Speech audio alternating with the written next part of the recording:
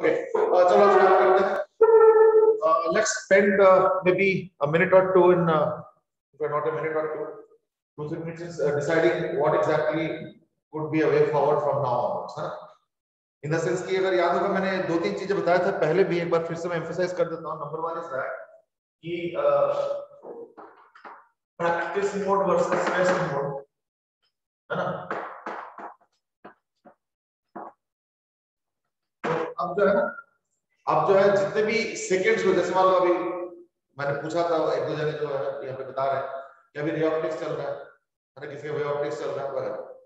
अब ये तो होगा फ़र्स्ट टाइम कि कर रहे हो तो वह प्रैक्टिस मोड फिर इसके बाद जो है ना immediately switch on to test you are going to appear for a test you won't be tested for your knowledge you will be tested for your skills in that particular test, है ना? इसलिए हमें भी test mode में बहुत practice चाहिए। Test mode में practice में तो क्या कि जैसे मान लो वन आवर है अब मुझे वन आवर फिजिक्स प्रैक्टिस करना है। तो कोई से भी चैप्टर सेक्शन कुछ भी उठा लो। That's up to you that I not you know interfere but उस वन आवर में कोशिश करो कि 20 क्वेश्चंस का टारगेट करो अगर चाहिए एडवांस लेवल का है तो। ठीक है? और अगर मेंस लेवल का है तो 25 एडवांस अगर है तो 20 क्वेश्चंस इन वन आवर और अगर मेंस लेवल का क्वेश्चंस है तो that is 25 questions in one ये टारगेट लगा के इसके ऊपर टेस्ट दो और एक घंटे बाद खत्म कर दो और उसका स्कोर ना कितना आ रहा है कैलकुलेट द स्कोर और उसके बाद एनालाइज करो कि वेयर वेंट रॉन्ग क्या कोई क्वेश्चन छूट गया था? उसके बाद है ना, दोबारा सॉल्व करो जो रिमेनिंग क्वेश्चंस है ना? उसके बाद क्या होगा? टेस्ट मोड में दिया स्कोर फाइंड आउट करो, फिर रिमेनिंग क्वेश्चंस एक बार अटेम्प्ट कर लो। ठीक है ना? और उसके बाद एनालाइज ज़रूर करो। ये एनालिसिस बहुत ज़रूरी है। एनालाइज ये करो कि उस एक घंटे में कोई ऐसा नहीं कि इजी क्वेश्चन छूट गया। कोई ऐसा नहीं कि एक घंटे में कि कोई डिफ़िकल्ट क्वेश्चन उन्होंने पकड़ लिया और इतना टाइम खराब कर लिया है या नहीं? या कोई सिले मिस्टेक किया? या कोई कंसेप्चुअल मिस्टेक किया? वो तो मिस्टेक से देखिए पता चलेगा था है तो उससे क्या ये जो जजमेंट है अपने ऊपर या पेपर को बैठ के जज करना, ये स्किल धीरे धीरे आएगा। ये रातों रात नहीं आता। तो ना? ये जो पोस्ट पेपर हम एनालिसिस करते हैं कि ये क्वेश्चन काफ़ी आसान था मैंने कैसे छोड़ दिया और इतना लंबा क्वेश्चन है कहाँ अटक गया था इस क्वेश्चन तो जरा सोचो कि मैं उस समय ऐसे क्या सोच रहा था कि ये क्वेश्चन हो जाएगा और लग गए लग गए लग गए, और चलो टाइम ज़्यादा खराब हो और ऐसे हो सकता है क्वेश्चन अरे बाप तो बहुत बड़ा, लंबा क्वेश्चन लग रहा है। ये छोड़ देता हूँ ऐसे भी क्यों क्वेश्चन और पता चला वो तीन लाइन में सॉल्यूशन हो गया। तो ऐसे क्या हुआ कि तुमने ऐसे क्यों नहीं सोचा कि इसमें तीन लाइन का भी सॉल्यूशन तो आई एम श्योर देखो, कहीं ना कहीं सबकॉन्शियस या कहीं ना कहीं जो हमारे कॉन्शियस माइंड है, ये दोनों में ही इस चीज़ के एक्सपीरियंस का देखो फ़ायदा होगा।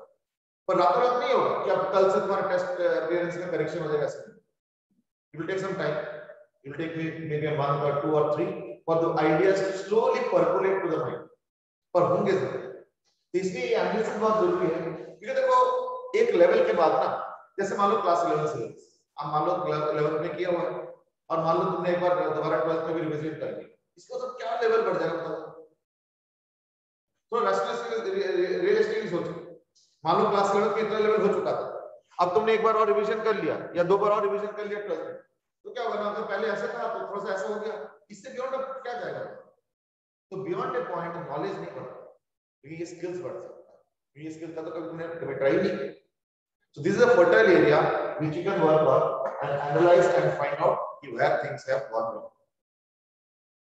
और ये एक्सपीरियंस देखना कहीं ना कहीं test by test test by test test by test तुम्हारा एग्ज़ाम स्किल्स को बढ़ाएगा।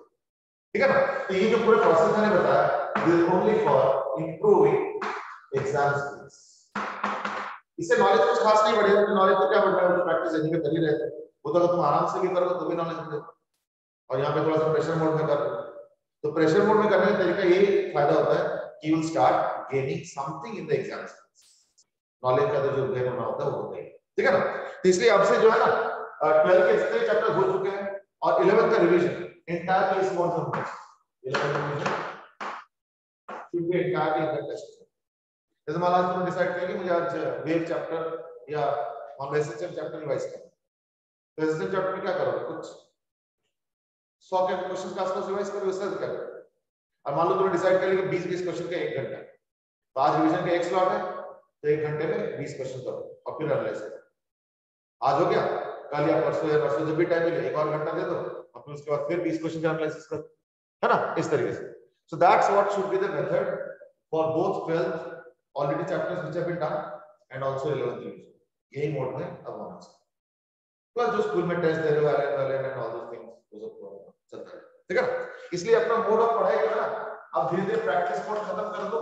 प्रैक्टिस मोड का ज़रूरत भी नहीं है। क्यों?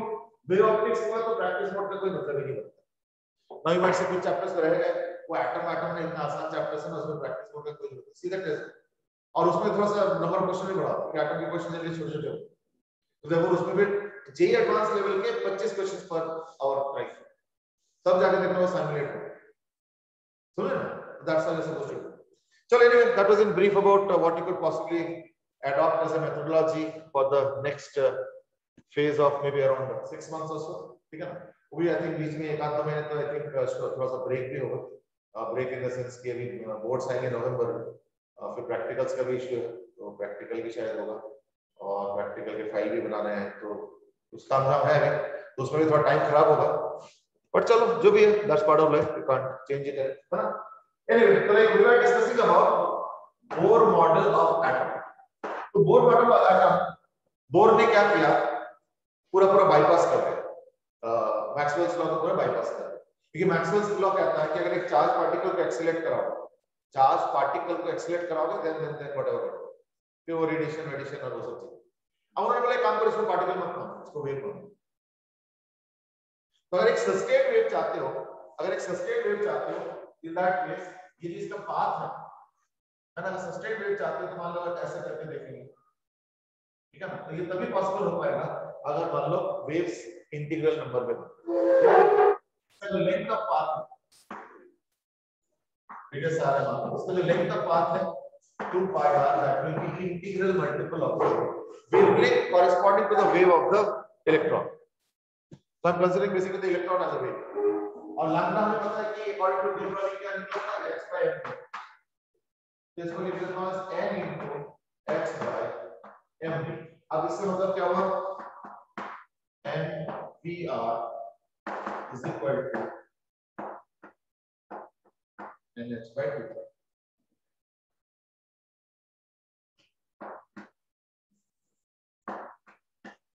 ठीक है v r is equal to n into x upon 2 pi ठीक है क्योंकि एंगुलर मोमेंटम है और ये हर शेल का, जो भी शेल्स एग्जिस्ट करते हैं, उनके वेलोसिटीज अलग होंगे रेडियस अलग है। तो angular momentum suppose it should be variable and it is variable but it's very interesting कि ये integral multiple of x 2 pi के हिसाब से तो यही एक्चुअली बोर थ्योरी का मेन जो आइडिया था वही that angular momentum quantisation angular momentum जो भी इंटीग्रल मल्टीपल का होता है, उसको quantization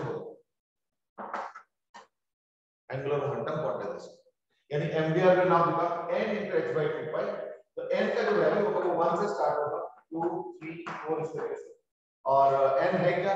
Shell number first shell second shell इस तरीके से। लेकिन shell number is not very technically good word to use तो हम लोग n की जगह लिखेंगे एज व्हाट ना? प्रिंसिपल क्वांटम n की नाम लिखा। प्रिंसिपल क्वांटम नंबर केमिस्ट्री में तो तुम लोग इसके इन्वेस्टिगेट ज़्यादा करते हैं। फिर प्रिंसिपल क्वांटम नंबर फिर अजीमुथल और आल्सो मैग्नेटिक एक्टिविटी से लेके। तो तो तुम लोगों को मालूम है कैसे करना है। तो we are not going to that part what we are interested in is कि n शेल नंबर है शेल नंबर के अकॉर्डिंगली ये चीज़ okay now that this is valid we also know that this is a charge so अगर मान लो अगर मान लो atomic number z now you might say is this the theory? Bohr theory valid for all atoms the answer is no. It is only valid for either hydrogen or hydrogen like atoms. अब क्योंकि ये terminology का नया नहीं है I am sure must already heard तो may be somebody will highlight अरे बताओ हाइड्रोजन लाइक एटम बोलते क्या समझते हाँ? इसमें एक ही इलेक्ट्रॉन हो okay hydrogen like atoms uni electron same that's right actually hydrogen का मतलब क्या होता है? हाइड्रोजन लाइक का मतलब क्या हुआ एक न्यूक्लियस हो और एक इलेक्ट्रॉन हो बस। Now the thing is that except for hydrogen none of them have one electron so that means it must be ion it must be an ion ठीक है कि जिसके इलेक्ट्रॉन्स कुछ निकल चुके हैं और एक इलेक्ट्रॉन बचा है। तो ऐसा अगर एटम होता तो that will be called as hydrogen like यानी ये जो बोर थ्योरी है, ये वैलिड है only for hydrogen and hydrogen like atom valid only for hydrogen और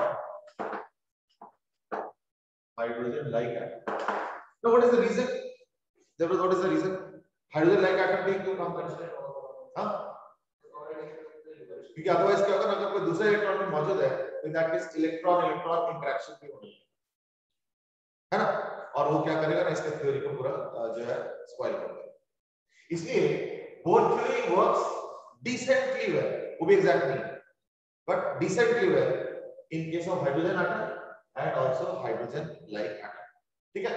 तो हाइड्रोजन लाइक आइटम का मतलब क्या होता है? ना? Only one electron and rightly से such an atom will be called as uni electron ठीक है to avoid to avoid electron electron ऐसे केस में अगर मान लो जेड न्यूक्लियस का हो जाता है और ये की हो गया मान लो तो ये घूम रहा है मान लो तो that case apart from this one I can also write I can also write K ZD into by R square. Centripetal force will be equal to mv square by R. ठीक है एक्चुअली अगर देखा जाए ना तो Bohr's theory is actually not a very sound theory इसके अंदर inherent contradictions है। बट चलो ठीक है, क्योंकि हाइड्रोजन का स्पेक्ट्रम काफ़ी अच्छा एक्सप्लेन किया। था हाइड्रोजन का स्पेक्ट्रम काफ़ी अच्छा एक्सप्लेन किया था। इसलिए इसको ये अहमियत दिया यू नो इंपॉर्टेंस दिया गया। और आज भी हम लोग इसके बारे में पढ़ रहे हैं। Otherwise Bohr theory itself is contradictory how अभी हम लोगों ने क्या बताया? कि बोर ने बोला कि भाई इलेक्ट्रॉन जो है ना पार्टिकल मानो उसको वेव मानो चलो अच्छी बात है। अगर वेव मानते हो तो दैट केस क्या है ना, वो जो मैक्सवेल्स लॉ के जो प्रॉब्लम आ रहे थे, कि a charge particle has to accelerate and all वो बाईपास हो गया। तो वेव कंसीडर कर ले तो बाईपास फिर फिर ये वाला लॉ तो प्योरली पार्टिकल के लिए वैलिड है। नहीं? तो देखो there is a little contradiction in all this thing but चलो ठीक है। एटलीस्ट क्या है ना, कि जो चीज़ एटलीस्ट एक्सप्लेन कर रहा है तो why not give the credit someone है ना? तो इसलिए उनको क्रेडिट दिया जाता है। पर अदरवाइज़ देखा जाए तो उनके थ्योरी के अंदर ही inherent contradictions but because it worked and because it could manage and explain hydrogen spectra चलो ठीक है, जाने दिया गया। ठीक है? तो now if I mix up both of them तो क्या होगा? तो देखो, v इक्वल टू क्या होता है? Nh by 2.1 तो v स्क्वायर लिख देता हूँ। यानी m into n square h square by 4 pi square m square r square ठीक है? ये हो गया इसका। और अपॉन r यानी r क्यूब हो। जाएगा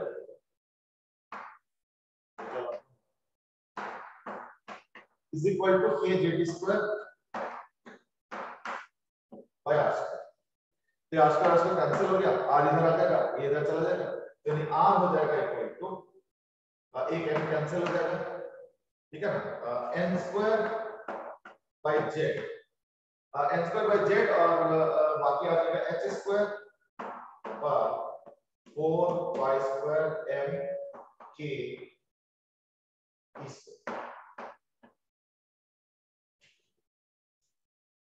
ठीक है?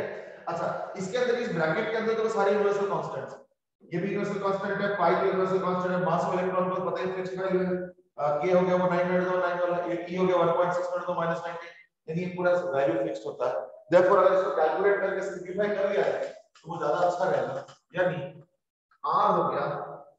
रेडियस ऑफ़ अगर मुझे अक्रॉस एटम्स कंपेयर करना है तो क्या होता है ना radius is proportional to the n square and radius is proportional to 1 by z. यानी जितना ज़्यादा एटॉमिक नंबर होगा, उतना कम रेडियस होगा फॉर अ गिवन सिस्टम जैसे फ़र्स्ट सेल को कंपेयर करना हाँ। हाँ। तभी तो करते इसके अंदर इनहेरेंट कॉन्ट्रडिक्शंस है। ठीक है ना? देखो ये जो उन्होंने बताया इस बार कि चार्ज अपना प्रॉपर्टी थोड़ी खोएगा वेव बेशक बन जाए लेकिन चार्ज अपना प्रॉपर्टी थोड़ी खोएगा। है ना? और ना ही मास अपना प्रॉपर्टी खोएगा। तो what only he said was that क्या हम इसको इस तरह से मानेंगे इसका जो डोमिनेंट प्रॉपर्टी वो वेव मान but that does not mean particle properties lost altogether ऐसे नहीं। इट ऑल डिपेंड्स है। जैसे मान लो लाइट अब लाइट के अंदर जो पार्टिकल बिहेव है, उसको हम लोग बहुत अच्छे से समझ नहीं पाते। बट ऐसे नहीं कि नहीं है। लाइट के भी है और शायद हमने किए भी थे ज़्यादा फोटोलिप्टिक किए थे ना शायद light as a momentum of light और किए थे हमने किया। किया था। हाँ तो यानी कि लाइट के अंदर भी इनफैक्ट लेजर एक्सपेरिमेंट्स किया गया। कैसे? ना, एक क्वार्ट्ज थ्रेड एक क्वार्ट्ज मिरर हैंग कर दिया गया। और उसके ऊपर लेजर लाइट आई तो देखना मिरर ऐसे रखोगे ना, जैसे लेजर लाइट आएगा देखना ऐसे। कम एंगल से होगा मे बी पौना डिग्री आधा डिग्री ऐसे होगा बट होगा ज़रूर। तो जितना बड़ा थ्रेड लोगे, उतना देखना पता चल जाता है कि हाँ बस मेरा शिफ्टेड है। जैसे लेजर लाइट ऑफ़ करो, वापस ऑफ़ करो। अच्छा नाउ लेट्स से क्वार्ट्ज के क्यों कर रहे हो। the quartz is something that we can make very thin mirrors and we can make very thin threads this हम quartz को प्रेफर कर रहे हैं। तो quartz thread के साथ, अगर quartz mirror लेके, अगर मैं लेजर लाइट इंप्लीमेंट करूँगा तो है ना? यानी क्या हो रहा है कि ऐसे नहीं कि लाइट के अंदर मास का प्रॉपर्टी नहीं, या मैटर का प्रॉपर्टी नहीं। डोमिनेंट प्रॉपर्टी वेव का अब इलेक्ट्रॉन का क्या है? तो इलेक्ट्रॉन पे कुछ जगह पे डोमिनेंट प्रॉपर्टी वेव हो जाता है और कुछ जगह पे डोमिनेंट प्रॉपर्टी इलेक्ट्रॉन का अब मैं एग्जांपल देता हूँ now that you ask this question जैसे कैथोड रे ट्यूब के अंदर कैथोड रे ट्यूब के अंदर मास वाला प्रॉपर्टी डोमिनेंट है। उसमें वो दोनों ने किया होगा कैथोड रे ट्यूब के अंदर। एक कैथोड रे ट्यूब है, और यहाँ से इलेक्ट्रॉन आ रहा है, और यहाँ पे एक ऑब्स्ट्रक्शन बना तो उस ऑब्स्ट्रक्शन के पीछे फ़ैन लगा जिससे कि आधा ब्लेड जो है ना, या सेंटर तक का जो पार्ट ऑफ़ ऑब्स्ट्रक्शन हो। ये मैं इसलिए बोल रहा हूँ पूरा ही खुला छोड़ दो तो इधर से भी टॉप लाइन उधर से भी टॉप एक क्लॉकवाइज एक एंटी क्लॉकवाइज फिर रोटेशन नहीं पर अगर यहाँ से ऑब्स्ट्रक्शन कर दो, और ये फ़ैन ब्लेड रख दो मान लो तो देखो ऊपर वाले हिस्से में इलेक्ट्रॉन्स आएँगे। तो क्या होगा? ये फ़ैन ब्लेड देखा तुरंत घूमने लगेगा यानी it is transferring its momentum to the fan blades who is transferring electrons तो इलेक्ट्रॉन का मैटर प्रॉपर्टी आ तो इस एक्सपेरिमेंट में इलेक्ट्रॉन का मैटर प्रॉपर्टी प्रॉपर्टी डोमिनेंट है इसमें वेव का कोई डेमोंस्ट्रेशन नहीं होगा पर जो बोर थ्योरी है उसमें wave property is dominant not the particle property ठीक है ना so that's why the whatever Maxwell's law and all is not being validated. ठीक है ना? But as I said, it's not a very clear cut uh, thing. But as I said कि उस समय क्या है ना कि एक्चुअली डेड एंड पे आ गए जब रदरफोर्ड मॉडल आया था तो साइंटिस्ट इतना खुश हुए कि देखो आज अब जाकर मैं एटम का इस्तेमाल वो न्यूक्लियस न्यूक्लियस इतना सारा डिकेशन ये वो मतलब रदरफोर्ड ने तो बड़ा इमोशनल वो भी किए थे comment is that in my experiment it almost seemed to me in my experiment it almost seemed to me that I fired a bullet at a tissue paper and the bullet has come back. You know, देखा अपने memoir से क्या fired a bullet at a tissue paper and the tissue uh, and the bullet has returned. ऐसे उनको लगा तो Rutherford experiment के बाद उन्होंने कमेंट किया, ठीक है? तो दैट्स ऑल तो यहाँ पे matter property dominant is it wave property dominant तो wave property dominant and after that ये सब करके फाइनली बनता है कि r टेंस पर and r is close to what z. और ये जो वैल्यू है कांस्टेंट इसको कैलकुलेट करके आ जाता है 0.529 angstrom so therefore, now i'm going to write r is equal to 0.529 0.529 in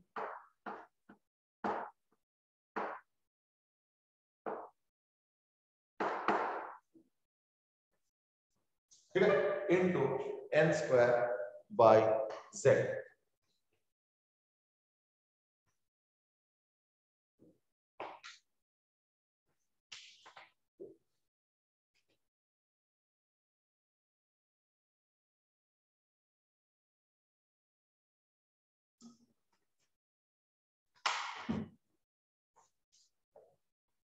Now for velocity, we can easily find out what? nh by 2 pi m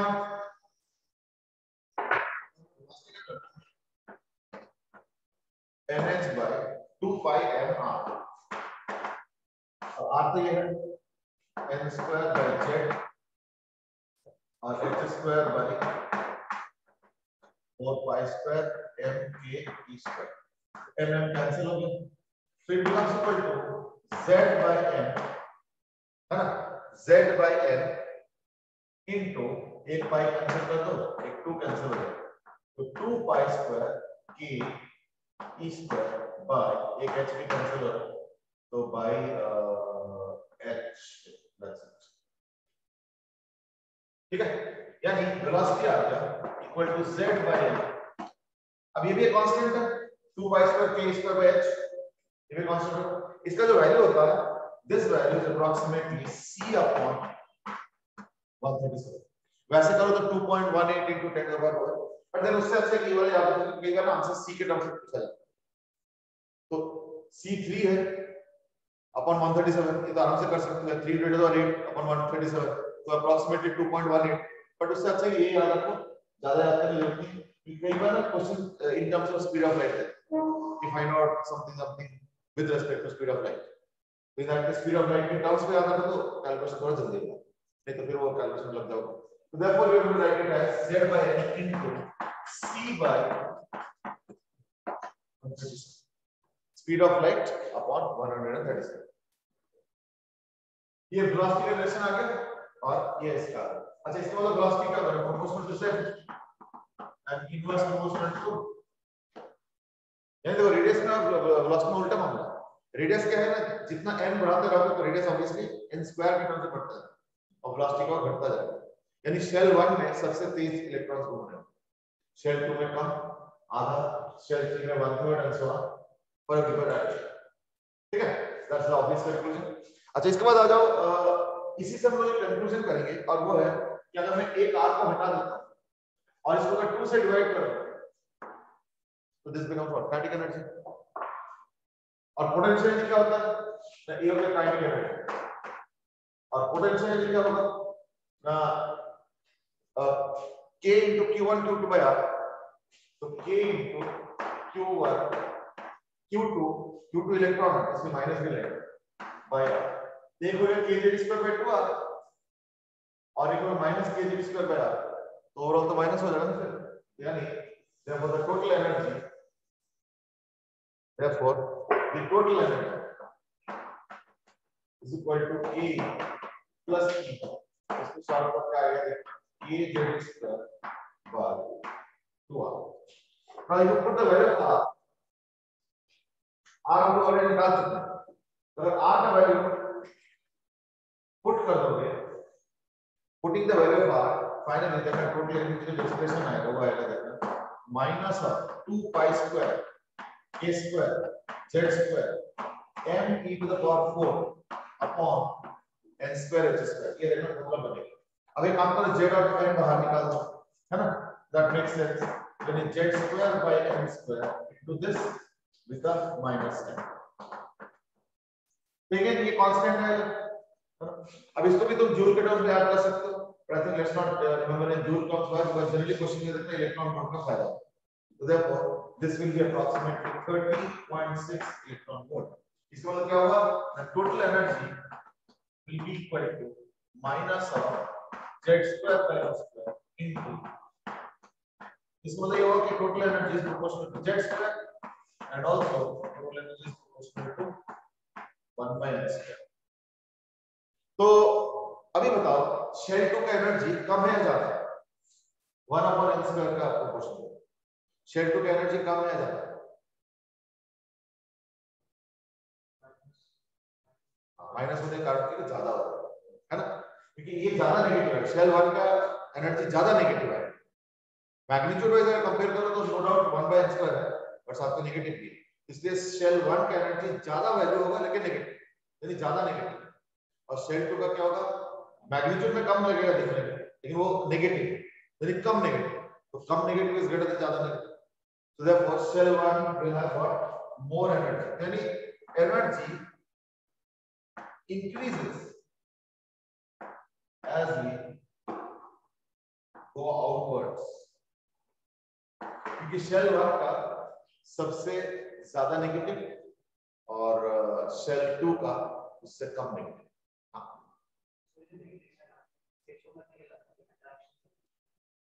नहीं, ये तो ज़रूरी नहीं है वो तो पोटेंशियल जी सेटिंग के ऊपर पोटेंशियल जी हम लोग इनफिनिट में ज़ीरो मानते हैं इसलिए नेगेटिव अदरवाइज़ तो कई बार क्वेश्चन भी आया जे एडवांस में आया इज़ दैट अगर रेफरेंस चेंज कर दें तो हो सकता है कि किसी भी शेल का कभी भी एनर्जी नेगेटिव नहीं है। तो ये डिपेंड करता है। क्यों पोटेंशियल रेफरेंस डिपेंडेंट है ना तो रेफरेंस को बदल दो। और काइनेटिक उतना ही होता but potential can be easily shifted like this तो है ना, चाहो तो तुम जैसे मर्ज़ी करो। ना इसलिए ऐसे क्लियर कट डिस्टिंक्शन मत करो कि जहाँ जहाँ टोटल एनर्जी नेगेटिव होगा, वहाँ पे अट्रैक्टिव फोर्स होगा।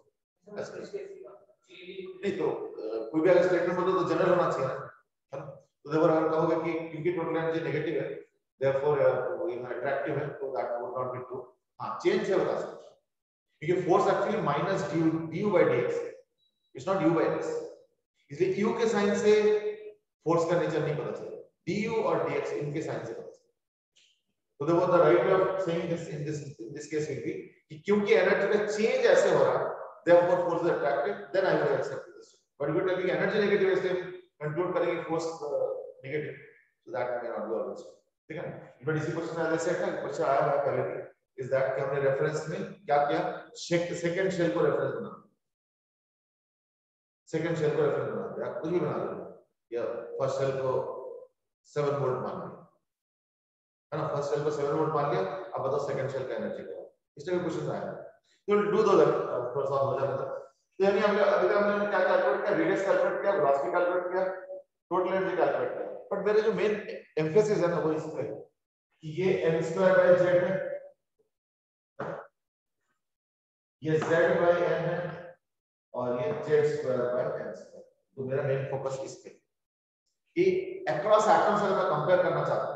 तो कैसे कंपेयर होगा? जैसे सपोज़ मैं पूछता हूँ radius of helium third cell is to radius of lithium fourth cell.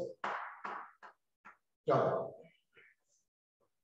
बल्कि सिर्फ़ रेडियस की कंपेयर करें, हम पोटेंशियल अच्छा ये जो एनर्जी होता है ना, अगर इंफिनिटी को रेफरेंस लेते तो एनर्जी बारे में लिख देता हूँ। If infinity is taken as a reference. Then क्या total energy will be minus of static energy will be half of potential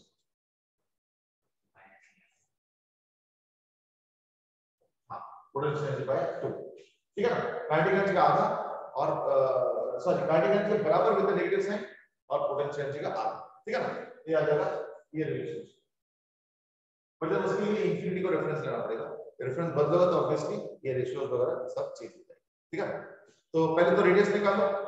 And maybe kinetic energy same cheese kinetic energy helium का third cell is to kinetic energy lithium के fourth cell actually बाकी energy compare करने में दिक्कत क्या ना? कि ratio for negative quantities we don't differ तो ये तो सारे नेगेटिव क्वांटिटीज काइनेटिक एनर्जी और positive I think that is what we can differ and जब कुछ नहीं बोला गया तो will take reference as increment तो उसको कोई कंफ्यूजन का स्कोप नहीं। कि वो काइनेटिक एनर्जी चलो ठीक है। अगर पोटेंशियल पूछ लिया तो तो पोटेंशियल जब पूछ लिया तो बताएँगे आंसर एक बार इसी को यूज़ करके बताएँगे। क्योंकि बाय डिफ़ॉल्ट हमें इंफिनिटी को ही रेफरेंस माना हम उसको नहीं बदलते ठीक है? चलो, ये वो काइनेटिक एनर्जी और मे बी इस वेलोसिटी को कर। लो velocity of helium third cell is to velocity of lithium fourth cell चलो गो करो। तो ये सब third cell और fourth cell को compare third cell of helium or fourth cell of lithium of course we are assuming that the electrons have been stripped off only one electron remains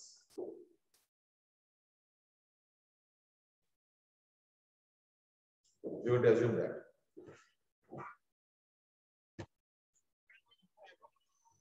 then square by तो यानी radius helium तो n square बोलते हैं 9 और z बोलते हैं का क्या? 2 तो 9 by 2 है ना?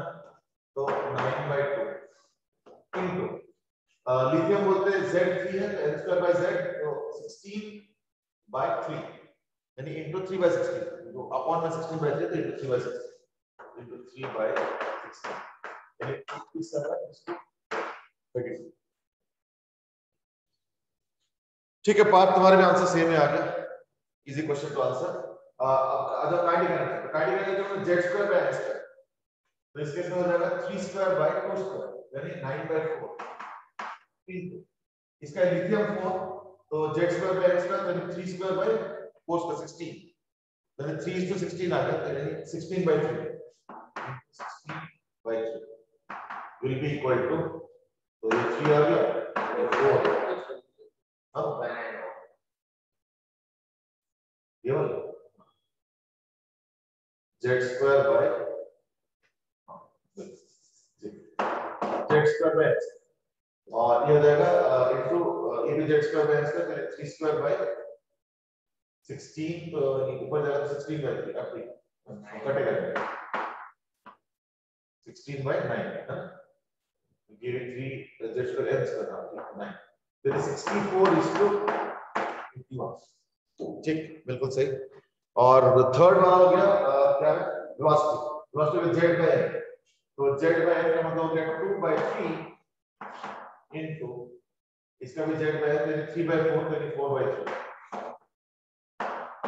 ये भी 9 सिंपल अच्छा अगर मैं एनर्जी का डायग्राम बनाता हूँ टोटल एनर्जी का लेंगे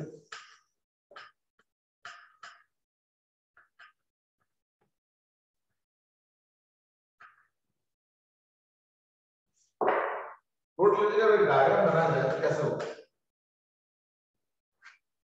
तो शेल नंबर वन है ना प्रिंसिपल क्वांटम नंबर वन है इसका एनर्जी होगा माइनस थर्टीन पॉइंट ठीक है ऐसे ही ये ये ज़ीरो लेवल है एनर्जी तो नेगेटिव है टोटल एनर्जी तो शेल नंबर वन अगर यहाँ पे है तो शेल नंबर टू ड्रॉ करो शेल नंबर थ्री फोर तीन चार ड्रॉ चार पाँच ड्रॉ पोजीशन कहाँ पे होगा ये 13.6 है नेक्स्ट कहाँ पे होगा यहाँ पे यहाँ पे यहाँ पे यहाँ पे। मतलब एक अप्रोक्सीमेट स्केल लेके चलो। एक अप्रोक्सीमेट स्केल डायग्राम बनाओ। For shells and their energies ये ज़ीरो हो गया, ये माइनस थर्टीन पॉइंट सिक्स हो गया।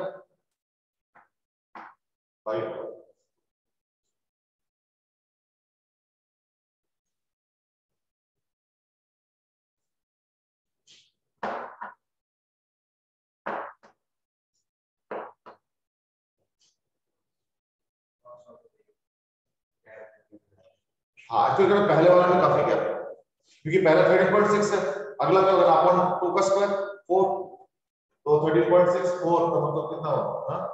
3.4 है ना? तो ये 3.4 हो जाएगा।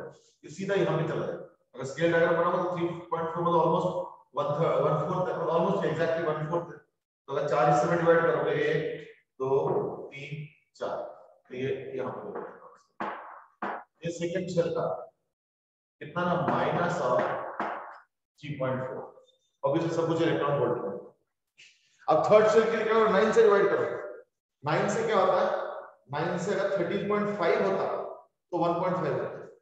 ये वन पॉइंट फाइव वन के आसपास टेन पॉइंट सिक्स ये माइनस वन पॉइंट फाइव तो ये यहाँ पे हो जाएगा वन है तो थ्री पॉइंट फोर देगी वन थर्ड से भी कम नहीं वन थर्ड से थोड़ा ज़्यादा।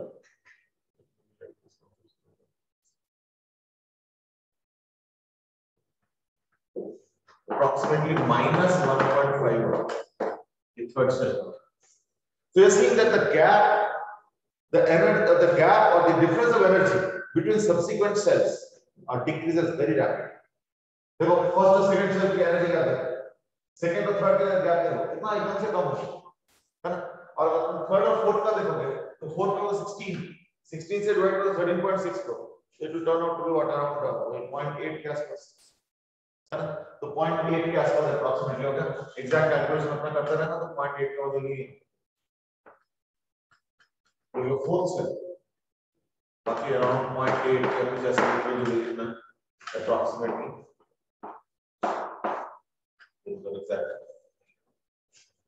So the energy gap between shells reduce very rapidly. Energy gap.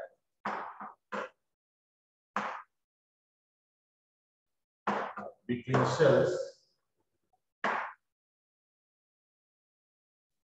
reduce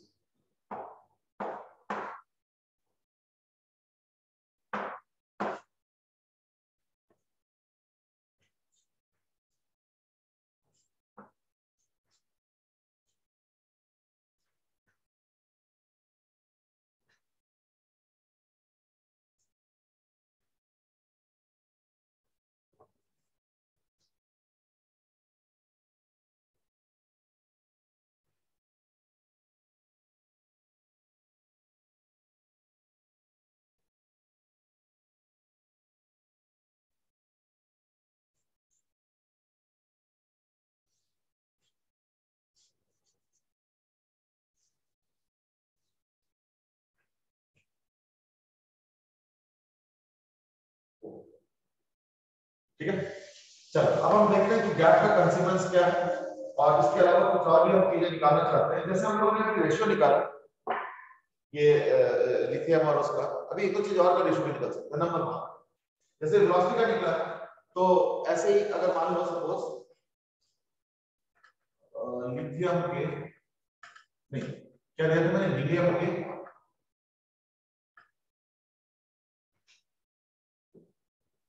दिया था थर्ड और लिथियम के मैंने इसका रेशियो निकाला था for different other things also number 1 velocity का निकला, फिर L1 इसको L2 इसको 1 मानो, इसको 2 मानो. इसको 1 ये 2 L1 इसको L2 number 2 is I1 is to I2 मैंने I1 is to I2 मतलब देखो वो इलेक्ट्रॉन घूम रहा है। एनी मूविंग इलेक्ट्रॉन और चार्ज और करंट तो मैं जानना चाहता हूँ कि इस शेल के रेशियो में या हाइड्रोजन और हीलियम के लिए सॉरी हीलियम और लिथियम के लिए करंट का रेशियो क्या बनेगा? For the third cell and the fourth cell ये next question third question is what will the ratio of magnetic field at the center due to the electron? What will the ratio of magnetic field at the center due to the electron of the uh, helium and the lithium? उसका ratio fourth is कि इसके magnetic moment क्या होगा m1 इस ये तमाम चीज़ें हम निकालना चाहते हैं। ठीक है? इन सब के भी रेशियो निकालो एक तो angular momentum current corresponding to the movement of electrons फिर magnetic field at the centre created because of the electron है ना? और ये हो गया मैग्नेटिक मोमेंट ठीक है? इनके भी रेशियो निकालो और helium 3 third cell helium third cell and lithium fourth cell तो इनको भी कंपेयर करना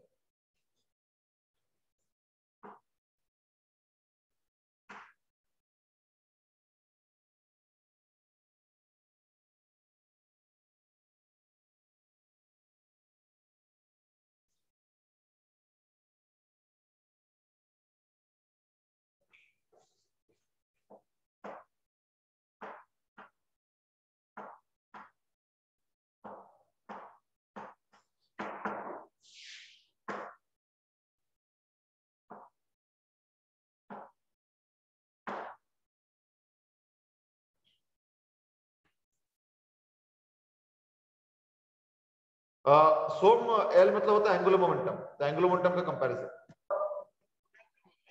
एक बार दोबारा मीनिंग समझा देता हूँ देखो एल मतलब हो गया एंगुलर मोमेंटम तो angular momentum of the third cell of helium is to angular momentum of fourth cell of lithium और फिर ये हो गया एंगुलर मोमेंटम ये हो गया करंट चार्ज मूव कर रहा है तो current corresponding to that electron in the third and fourth cell of helium and lithium फिर है magnetic field created at the center. तो b1 b2 होता है magnetic field at the centre और m1 m2 मतलब हो गया magnetic moment because of the electron इन सब के रेशियोज निकाल ठीक है ना? चलो स्टार्ट करो।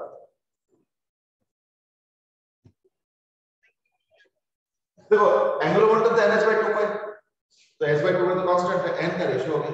तो n का रेशियो 3 to 4 देन ये तो हो गया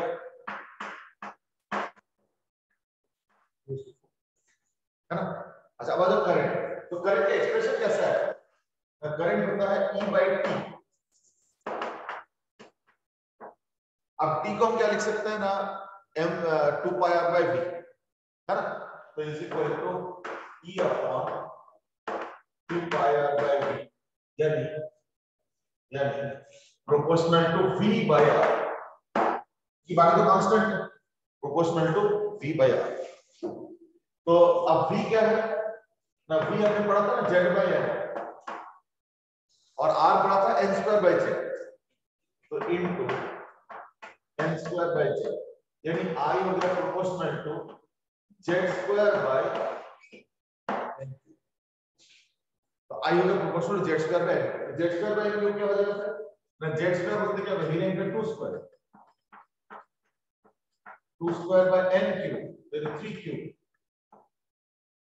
into अब लिथियम के लिए तो लिथियम का जेड स्क्वायर बोलते क्या three square by N cube बोलते फोर क्यूब तो नीचे थ्री स्क्वायर ऊपर फोर क्यूब चला जाएगा तो into four cube by three का स्क्वायर यानी थ्री का थ्री टू फाइव और यू नो फोर क्यूब मतलब टू टू सिक्स और टू टू एट यानी two fifty six two fifty six और इधर हो गया eighty one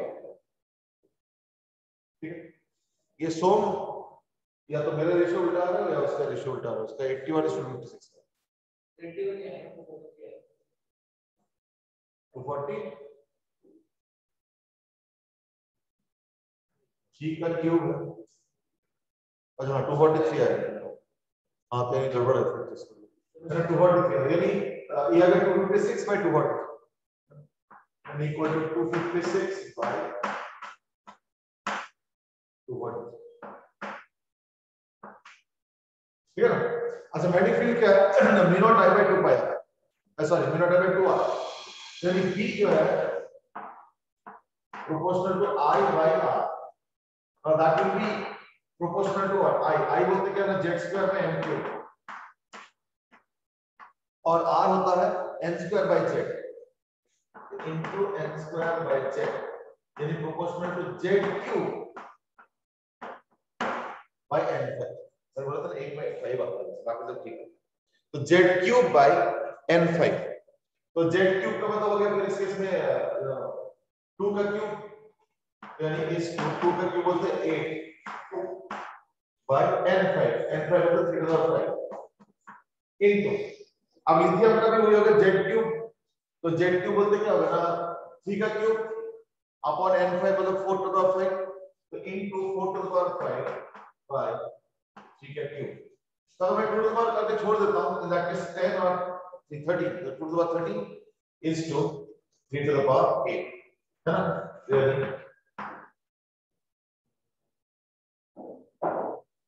uh, that will be equal to rather 2 to the power 13 ये फिर 4 to the power 5 2 to the power 13 by 3 to the power 8 yeah 2 to the power 13 by 3 to the power 8 ठीक है? वो check कर अच्छा सोम ने पूरा calculate करके दिया। चलो, कोई आपको आ गया ठीक है? ये वाला इतना सा इजी आता है। एम वन एम टू बोलते क्या ना I to area I to pierce का यानी एम क्या हो गया? एम इज़ प्रोपोर्शनल टू या M is equal to I into area that means proportional to I into R square तो आई का तो निकालना है Z square by M cube z square y n cube. ये तो क्या i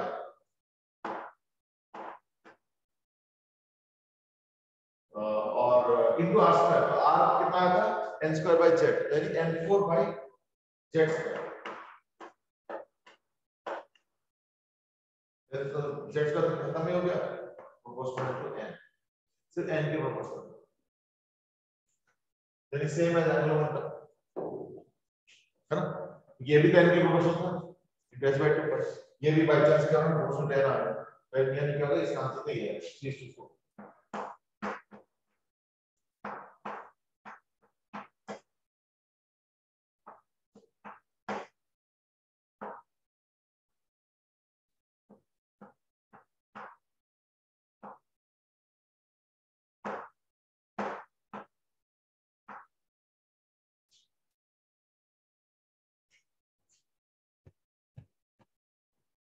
लास्ट क्वेश्चन है।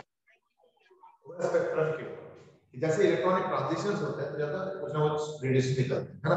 तो जैसे मान लो कोई इलेक्ट्रॉन है, जो कि सपोज़ ग्राउंड स्टेट है फ़र्स्ट स्टेट है, अगर मैं हाइड्रोजन को मानता हूँ ये सेकंड हो गया, ये थर्ड हो गया, ये फोर्थ हो गया आई थिंक फिफ्थ तक बहुत।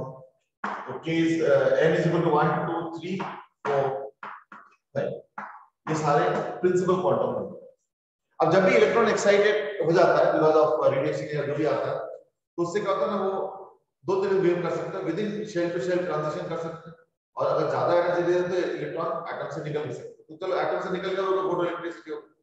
है ना? इसको हम डिस्कस कर सकते हैं। लेकिन मान लो ऐसा नहीं हुआ। इन केस क्या होगा ना, ये अनस्टेबल ऑर्बिट अगर इलेक्ट्रॉन यहाँ था, वहाँ चला गया तो non stable orbit it has to come back for stabilisation और वो जो डिफरेंस है, वो एनर्जी के फॉर्म में रेडिएट करें तो पहले देखते हैं कि क्या क्या होता है। जैसे मान लो सेल वन पे वापस आ इस तरीके से।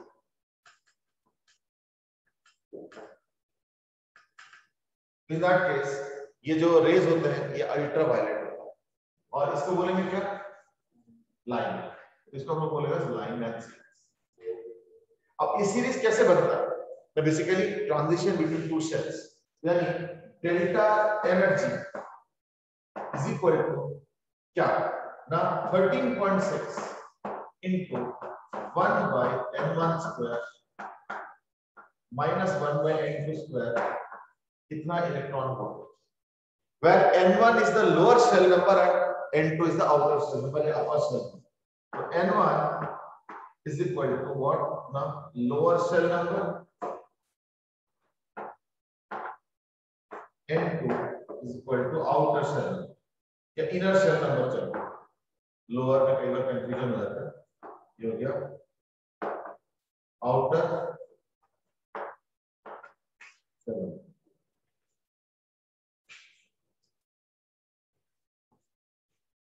ठीक है? तो इनर सेल नंबर और आउटर सेल नंबर ये n1 और n2 की जगह यूज़ और ये जो एनर्जी ट्रांजिशन हो रहा है, इसी से रेडिएशन निकलेगा। So I can even write h into nu या hc by lambda तो is equal to h into b. खैर हम तो इलेक्ट्रॉन वोल्ट यूनिट्स में लिखा बट इलेक्ट्रॉन वोल्ट यूनिट्स में तो खैर हमेशा नहीं होगा।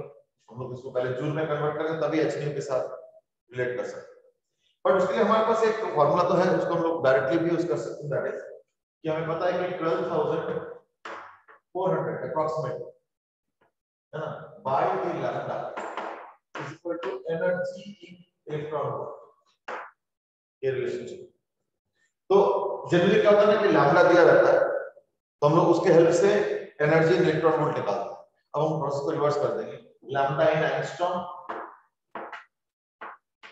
angstrom units में होना चाहिए। एंगस्ट्रॉम यूनिट अगर देखोगे तो देखो ये रिलेशन क्या काम करता है। एक्चुअली 12380 है। प्रति 12400 इसको देखो थियरी कहने वाला है कि इतना एनर्जी अगर है? ऐसा इतना वेवलेंथ अगर है। तो इतना एनर्जी बनेगा।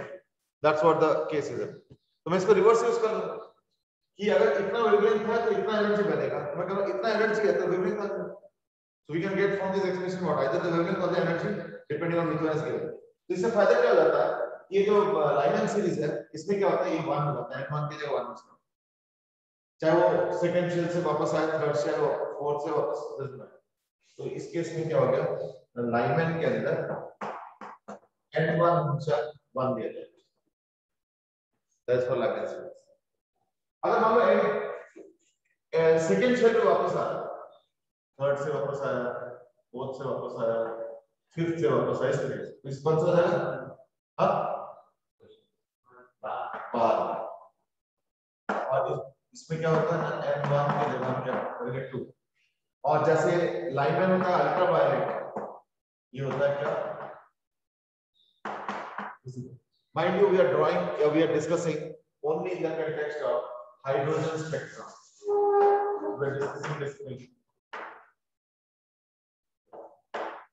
hydrogen spectrum only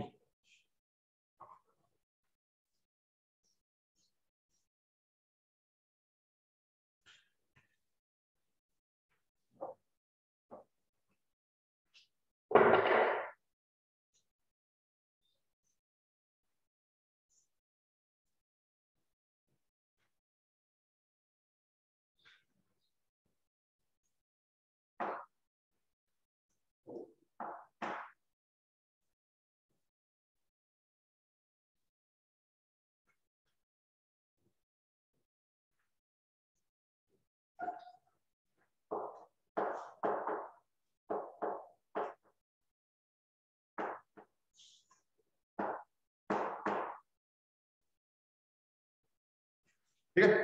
ये वो बात। है उसके बाद किया है।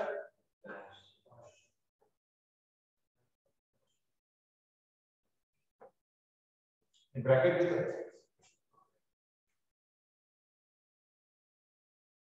तो हमारे पास कौन सा क्वेश्चन है ब्रैकेट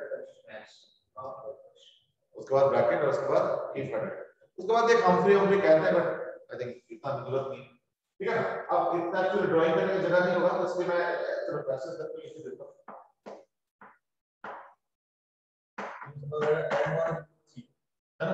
और ये हो जाता है इंफ्रारेड ये इंफ्रारेड होता है. ठीक है? बाकी मैं लिख देता हूँ मैं फिर आपको ब्रैकेट करके लिख देता हूँ. और ऊपर से लगाया तो ब्रैकेट तो ब्रैकेट में क्या होगा m1 4 रखेंगे और ये भी इंफ्रारेड आता है. फिर पी फंड का लिख दो. पी फंड में क्या होगा m1 5 और ये भी इंफ्रारेड फिर आता हम फ्रेम इसमें n1 is equal to 6 इसको बोलते हैं फार इंफ्रारेड यानी इंफ्रारेड से काफ़ी दूर। तो फार इंफ्रारेड ठीक है? that's how the energy transition takes place अच्छा ये तो इलेक्ट्रॉन वोल्ट बट अगर मान लो इसको मैं प्रॉपर्ली कन्वर्ट करता हूँ तो दैट केस का this is the equation which is remembering and that is ये जो डेल्टा फ्रीक्वेंसी e लिखा I can also write it as H C by lambda और 1 बाय लैम्डा को लिखा जाता है न्यू बार है ना?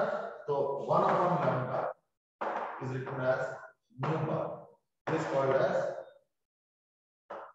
wave lambda तो ऐसे केस में क्या होगा देखो, कि h into c into nu bar है ना?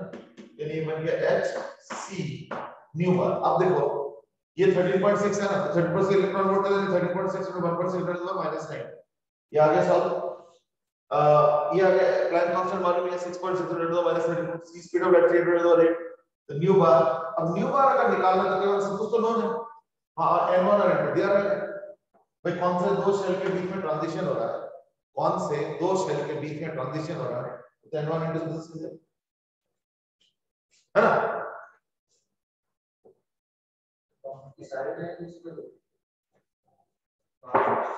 नहीं, सारे लाइन नहीं होंगे बट गवर्नमेंट पूरा ऑलमोस्ट मतलब बारह लोग समथिंग लाइक दिस और ये विजिबल होता है।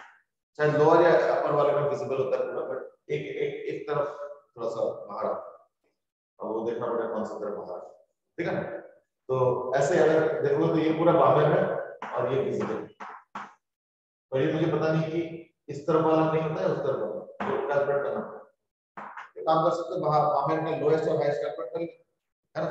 तो अभी भी हो जाएगा। यूनिट के लिए से कैलकुलेशन और उसके बाद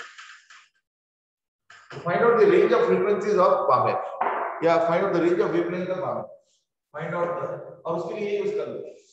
वो जो 12380 वाला था। है ना? That would be good calculation तो find out question is find out range of lambda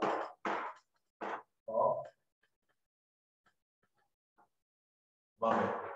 उसे आइडिया लग जाएगा कि पूरा विजिबल है, या पार्टली थोड़ा सा इनविजिबल एक बार चेक करो आइडिया लग जाएगा।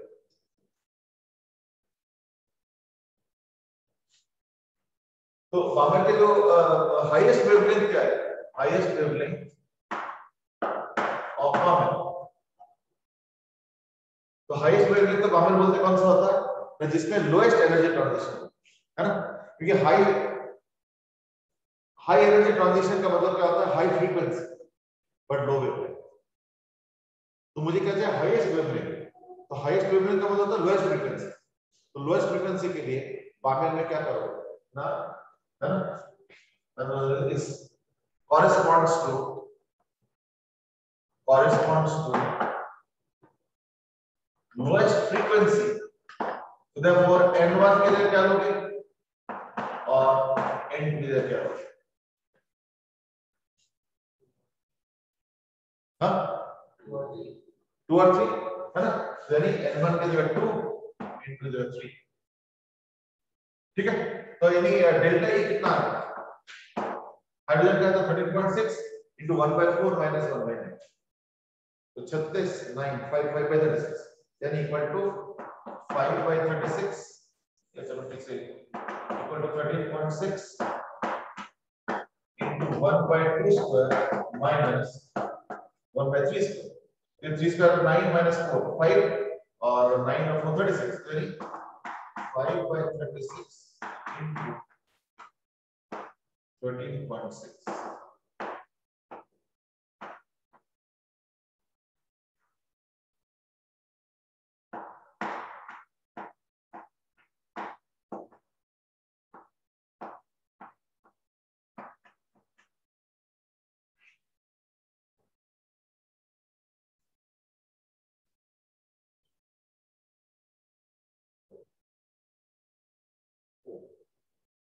कितना आ रहा कैलकुलेट कर लो क्या?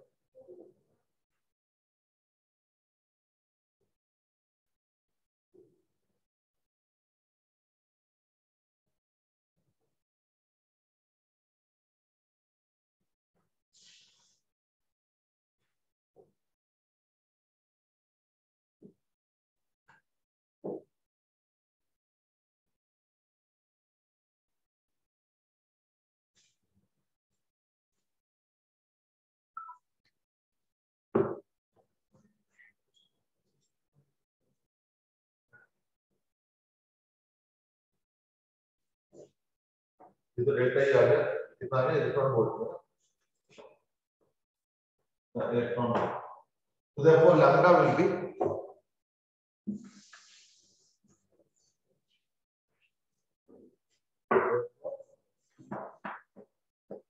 lambda lambda highest will be 12380 angstrom by this. पहले ये कैलकुलेट कर लें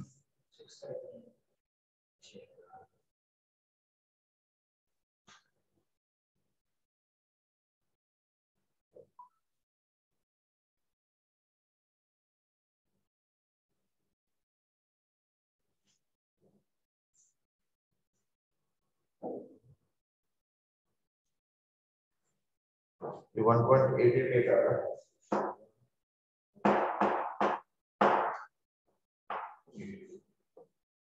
यानी बारह हज़ार तीन सौ अस्सी divided by one point six five five seven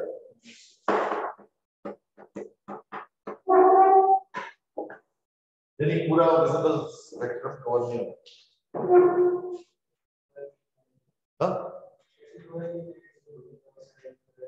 हाँ।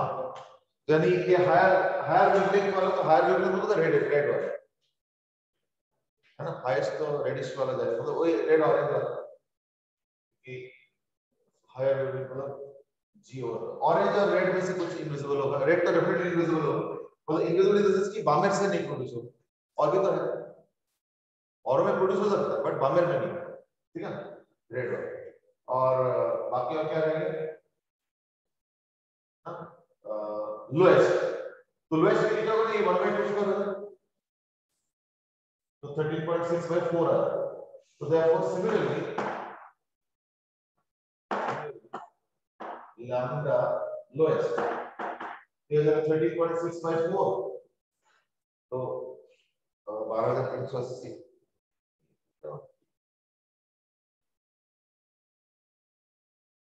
ठीक है?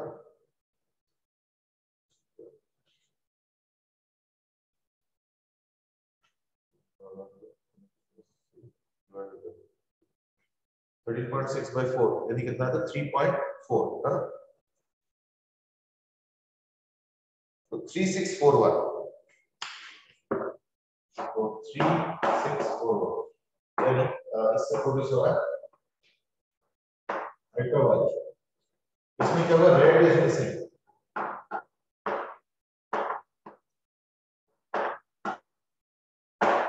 red missing होगा, शायद ऑरेंज मिसिंग होगा। और इसमें क्या होगा ना अल्ट्रावायलेट हो जाएगा। जो लोएस्ट वाला साइड होगा, वो क्या होगा अल्ट्रावायलेट दैट्स ऑल ठीक है ना? चलो आज के लिए इतना ही करेंगे। We will continue this tomorrow